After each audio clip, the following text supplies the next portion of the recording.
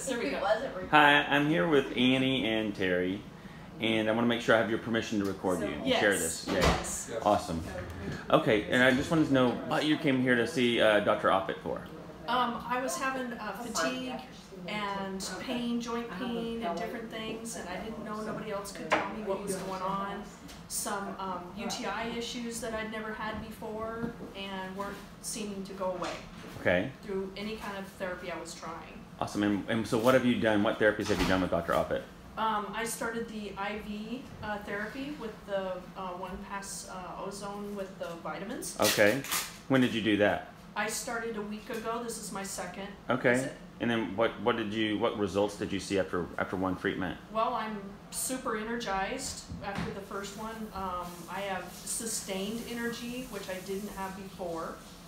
Um, I'm motivated mentally. My mental faculties are clear, whereas before I couldn't even do my studies or really think clearly for very long. I felt clouded. Okay, Um, just, I, I just feel, I, like, this morning I got up and said, if I was asked to do a hundred push-ups, I would, whereas a week ago I would have said something really horrible about that and Okay. said, no way. Uh, I can get up off of the couch without pain trying to push myself up off the couch. Right. what were your pain symptoms be- before? Just severe joint pain, muscle pain. All all um, over? All over. Um, some muscle cramps that I wasn't having. Um, just kind of almost fluish. Like I thought, oh, it just must be like cedar fever. Okay. But it didn't seem like something simple. How long had you been symptomatic?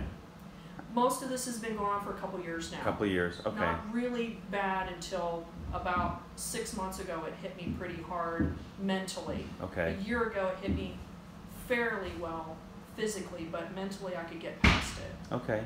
And did did were you were you diagnosed with anything? Did you have a diagnosis? No, I had a UTI, and I went to see a doctor about some antibiotics because I felt bad a year ago, and I, that cleared up. I got a chiropractic adjustment, felt better, it went away.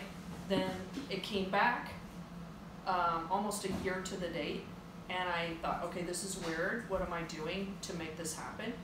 I took some antibiotics. It didn't get better. I went saw the, somebody at the hospital. They gave me more antibiotics. It didn't get better, and I went, okay, this is not normal. And so you, you can come on in here, Susan. It's it's fine. You can you can work if you need to work. Uh, so you came in and you got ozone treatment. That's what and that and then that The helped all those. The symptoms went like wow. One treatment. About Saturday, I started to get a little bit of something kind of kicking up again, and I thought, okay, this is a resistive thing. Something wants to hang on.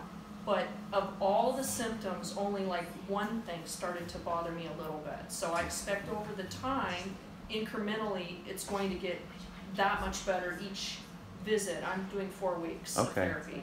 Awesome. So I expect it to incrementally get better Well, because it has already. thank you very much. You're welcome. I appreciate it. Uh-huh.